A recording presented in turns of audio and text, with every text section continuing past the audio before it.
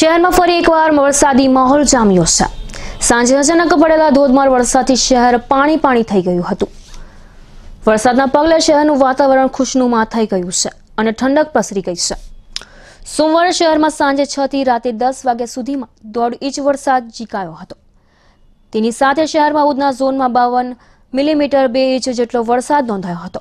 ઉકાઈ ડેમના ઉપરવાસમાં છ ઇંચ જેટલા વરસાદને કારણે ડેમની સપાટી એક ફૂટ વધી ગઈ હતી. તેની સાથે સુરતમાં સાંજે છ થી દસ દરમિયાન દોઢ ઇંચ જેટલો વરસાદ પડતા સોમવારે સુરત શહેરમાં બે ઇંચ વરસાદ પડ્યો હતો.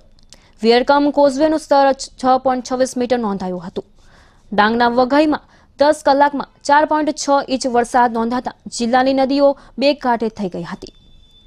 જ્યારે નવસારી જિલ્લામાં વાંસદામાં દોઢ ઇંચ અને વલસાડ જિલ્લામાં કપરાડામાં પોણા ઇંચ જેટલો વરસાદ પડ્યો હતો. હવામાન વિભાગ દ્વારા આગામી પચીસ ઓગસ્ટ સુધી અવિરત અને ભારે મધ્યમ વરસાદની આગાહી કરાઈ છે. જેમાં મંગળવારે સુરત શહેર સહિત દક્ષિણ ગુજરાતમાં ભારે વરસાદની શક્યતા છે. સુરતનું તાપમાન એક ડિગ્રી ઘટી ત્રીસ પોઈન્ટ આઠ પરથી ઓગણત્રીસ પોઈન્ટ છ ડિગ્રી પર પહોંચ્યું હતું. જ્યારે લઘુત્તમ તાપમાન પચીસ પોઈન્ટ છ ડિગ્રી સાથે સામાન્ય કર- કરતાં નીચું રહ્યું હતું. હવામાં ભેજનું પ્ર- પ્રમાણ છ્યાસીથી બાણું ટકા રહ્યું હતું. ઘણા દિવસો બાદ સોમવારે પડેલા બે ઇંચ જેટલા ભારે વરસાદના પગલે રોડ પર લોકોની અવરજવર ઓછી થઈ ગઈ હતી.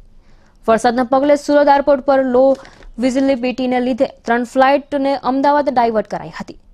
રાત્રે સાત કલાક પચાસ મિનિટે સ્પાઇસ જેટની ગોવા સુરત, એર ઇન્ડિયાની આઠ કલાક અને પિસ્તાલીસ મિનિટ, દિલ્હી સુરત અને છ વાગ્યાની ઇન્ડિગોની ગોવા સુરત ફ્લાઇટને અમદાવાદ ડાયવર્ટ કરવી પડી હતી.